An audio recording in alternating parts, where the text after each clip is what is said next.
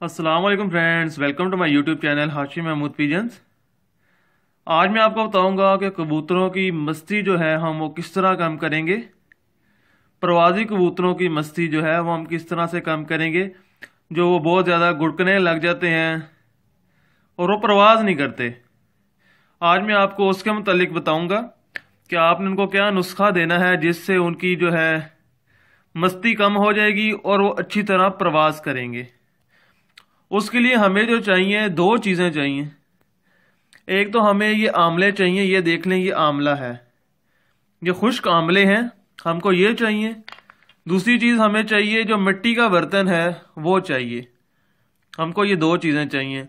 हमने जो आमले हैं, ये इतना सा मैंने देख लें पानी, थोड़ा सा पानी है।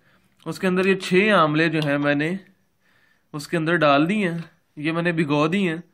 इसके अंदर अब ये पूरी रात जो है हम पड़े रहेंगे इसके अंदर। हमने रात को जो है पानी के अंदर ये भिगो देने हैं और ये सुबह तक पड़े रहेंगे इसके अंदर। सुबह के टाइम हमने ये नरम हो जाएँगे, इनको मसलना है पानी के अंदर। इसका जो पानी है वो इनके अंदर अच्छी तरह मिक्स हो जाएगा। ये जब शामिल हो जाएगा, उसको हमने कपड़े के साथ, बरीक कपड़े के साथ इस पानी को छान लेना है। और छानने के बाद हमने अपने कबूतरों को ये वाला पानी जो है, उनके पानी के बर्तन में डाल के इस्तेमाल करवाना है।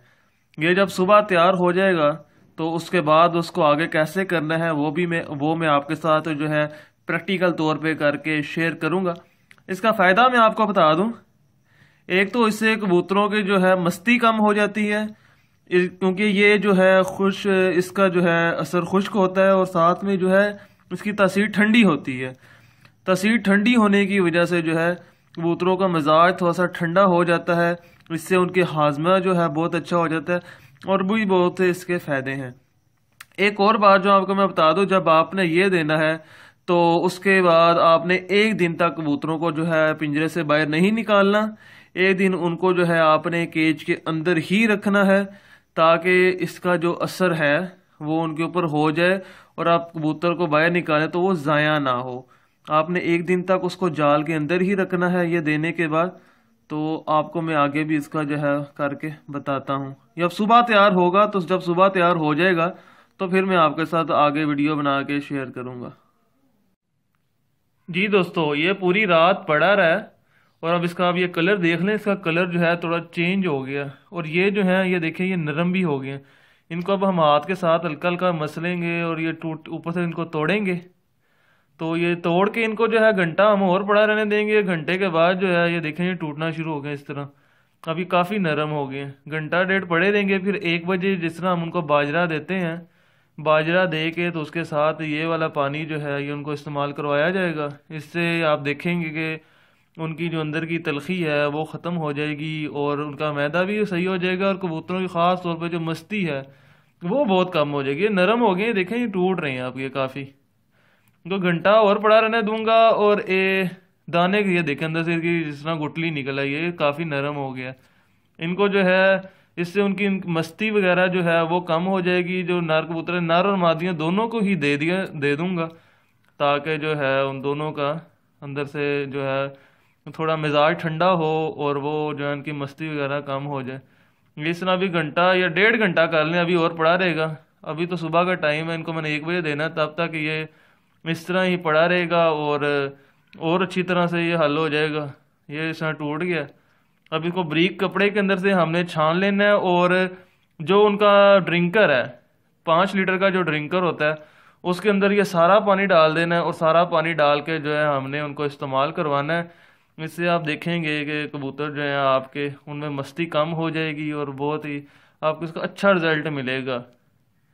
अब जब मैं अपने कबूतरों को ये डालूँगा थोड़ी देर बाद तो वो भी मैं आपके साथ फिर आगे शेयर करता हूँ कि आपने ये डालना किस तरह से है।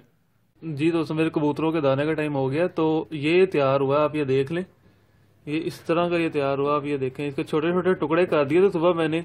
अब इनका टाइम हुआ है तो जो है ये तैयार हो गया। ये पाँच लीटर हमने पानी ले लेना है ड्रिंकर के अंदर, और इस पाँच लीटर के अंदर हमने इसको डाल देना है, और अपने कबूतरों को दाने के साथ देना है, एक बजे। ये जो है, मैंने एक ब्रीक कपड़ा ले लिया, ये ब्रीक कपड़ा ऐसा रख के, इस तरह करके। ऊपर से हम इसको जो है, ये डाल देंगे।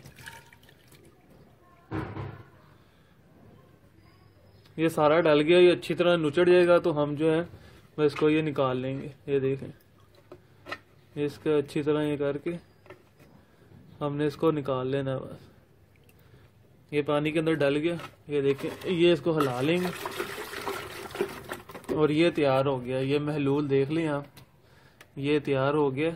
ये अब हम अपने कबूतरों को पिलाएँगे और इससे जो है, कबूतरों की, जो प्रवासी कबूतरों की मस्ती है, वो ख़त्म हो जाएगी और वो जो है, अच्छे से जो है परफॉर्म करेंगे प्रवास के अंदर। जब ये तैयार हो गया, अभी ऊपर जाके मैं अपने कबूतरों को जो पिलाऊँगा। अगर आपको ये वीडियो अच्छी लगी है तो अपने दोस्तों के साथ शेयर करें। अगर अभी तक आपने मेरे चैनल को सब्सक्राइब नहीं किया तो सब्सक्राइब कर लें।